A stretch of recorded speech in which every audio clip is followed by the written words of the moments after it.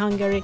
Uh, like if a certain amount of stuff you can spend it to in a certain category. Oh!